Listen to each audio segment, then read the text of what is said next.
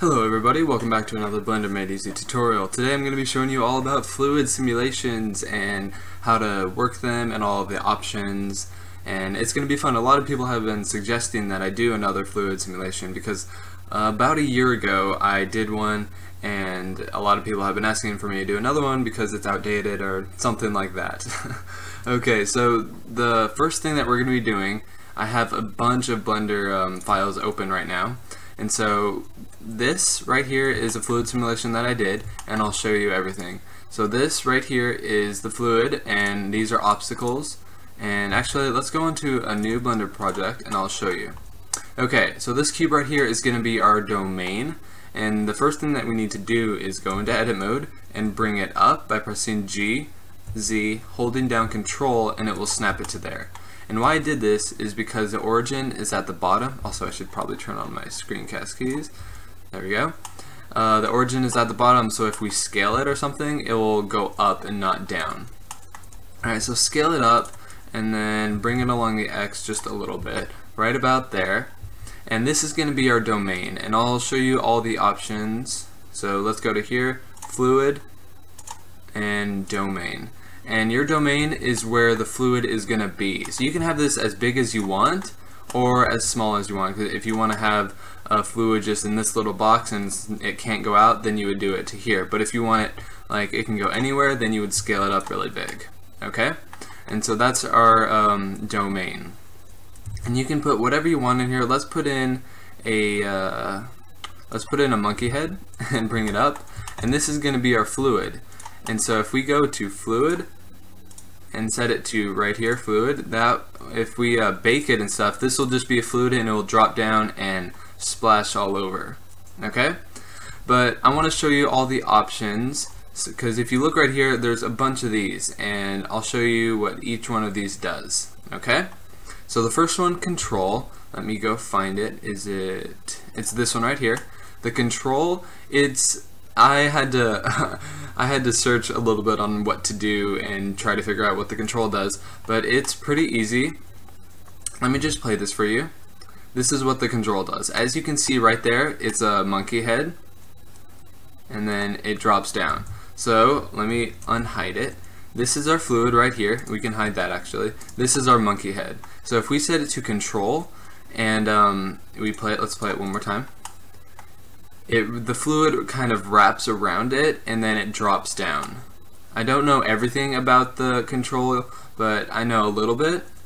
And these options right here, uh, this quality, that I think is just the quality of how like how good it looks. And the end and start, the start is where like if you press play, uh, the fluid will go around it right at the beginning. Or if you go to like let's say uh, 0.5 or something, after the fluid has gone down at 0.5, I'm not sure if this is seconds or not, but it will then wrap around uh, this monkey head once uh, this time has passed, and then it will end, as you can see. Let me play it one more time. It will end, and the fluid will drop down right about there. It will drop down once this one, or however this time is. And then the strength, the strength of this is how fast uh, the water will wrap around the object, I think. maybe. I'm not totally sure what these do, but you can play around with them. But that's what the control does. You can do a lot of cool stuff. Maybe if you have a character, you can have them like pull something out of the water. There's a couple animations that I've seen do that. But that's what the control does. So now let's move on to um, outflow. Outflow is this one right here. Oh wait, this one. Okay, so the outflow is pretty uh, self-explanatory. It takes away uh, fluid. So I just created a simple basic one right here. So if we uh, play this, it just goes in and it deletes the, the fluid. Very simple and not that hard to understand. And then this is just a regular uh, fluid and it just goes down and it deletes it. Very self-explanatory. Now this one is uh, just the regular fluid right here. And if we play it, it will drop and then do this. And these right here, these are obstacles. So if you set this to an obstacle, you don't really have to do anything with these uh, options, but it will just act like an obstacle and the fluid will go around it. And I set two uh, spheres down there and they'll go up. And as you can see, these are obstacles as well and they hit the fluid and they fly everywhere. just like that. Sorry, my computer's running a bit slow with all the particles. And so let's play that one more time. We play, it hits down, hits that cone, and it just goes around, and then the spheres come up and throw all the water, just like that. Okay, and the next one, let's see here. This one right here is the inflow. Uh, you can set anything to an inflow. It can be a monkey head, a cube, whatever, and that will emit fluid from that. Okay, so let me play this. As you can see, it's never-ending fluid. It, it just keeps going and it's filling this up. And these right here are uh, obstacles, as you can see. Right there, and it just keeps filling it up until the fluid is done. It will go all the way to the top if you set it that long. But that's what the inflow does. It's pretty self-explanatory, and you can, um, let me click on this. You can set the velocity.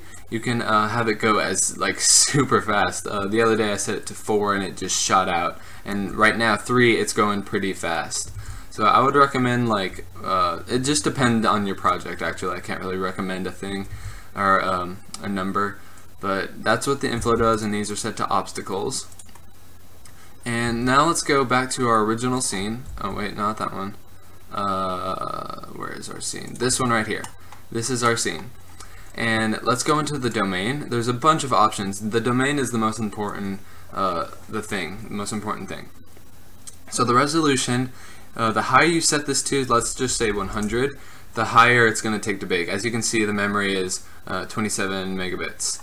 Um, and if you set this to 200 it, get, it, get, it keeps getting higher. So if you want to just test out to see how it looks I would recommend just 100 or like 80 or something like that. Let's go with 80 and then the preview I'm going to set to 80 as well. Um, you can set this to anything higher and the preview they're two different things. This is what it's going to look like in the rendered view and this is what it's going to look like in um, the solid view in our in our right now in our view right now and you can set the, the ending, the start, all that, whatever. Uh, let's go down here. I don't know anything about the fluid world very much. Um, you can reverse the frames. Yeah, the speed, it for default, the fluid simulation is actually pretty fast, so I like to go half speed. So let's just set that to 0.5. The boundary, the particle slip is, um, I'm not sure. Subdivisions, I think this is for particles. Um, free slip, you can do that. Subdivisions, you can bring that up. And then the tracer particles, these I'm not sure about. I still have to, um, I still have to look that up. Yeah, I'm not sure what the particles do. I was just uh, showing you all the basic ones. Um, I was looking up a little bit about the particles, but it's kind of hard to understand. So that's like the basics of all of the fluid, and it's pretty easy. You can do a bunch of things. So let's bake this real quick and just see how it looks. This will just fall down. Actually, let's add an obstacle real quick. Let's add in an obstacle. Let's put that like right here. So once this falls, it's going to hit this. So click fluid, object, or uh, type obstacle, and that will hit it. Let's go the particle slip. Um, I want to bring this up really high because some of the time, as you can see in the, which one is it? This one, a lot of our fluid is still stuck on the sphere. And I set it to even 0.8, but it's still stuck on it. So let's set it actually higher. Let's go 100, or 1. Okay, and let's also add a inflow. So I can just show you guys what to do. Let's add in a circle. Let's put it over in this corner. And fluid type inflow, and that will just shoot it out this way. And for the X, let's just go 1 and I think that will just shoot it out and it won't go straight down. And I think that's it. Yeah, it looks pretty good. So now let's bake this and just see how it looks. Okay, it is about to be done and 100%. Alright, let's uh, go back and let's see how it looks. Boom, and as you can see it hit that and this is kind of just slipping around. And I don't know why this is not going. Not sure. Um, that's weird. thought that. Oh, I know why. It's because uh, it's just a circle and there's no there's no mesh in the middle. That that's the reason. Hold on. Um, go back and rebake that. That's the reason why it did not shoot out is because there was no face right there. Alright, I will be right back. Okay, it is done. And let's see what it looks like. Let's go back and play it. And there we go. Nice. That's look at that. There's our fluid simulation. And you can add a material to it. And once you've uh, baked it, you don't need to have this thing anymore. So you can just go into here and hide it right there. Hide it from the render and then play it. That looks pretty good. And this is just uh, flowing into there. Nice, nice. Let's play it one more time. Boom.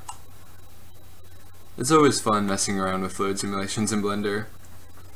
But there you go, there's like the basic overview of fluid simulations. And you can also uh, add a smooth uh, shader to that, and so there we go. That looks pretty cool. So there you go, there's the basics, and go make some cool fluid simulations and tell me in the comments what you make, and you can show me, maybe post it on Blender Artist or something like that. I would love to see what you guys make out of this. So go have fun, explore all these settings, and yeah, alright, have a great day, bye.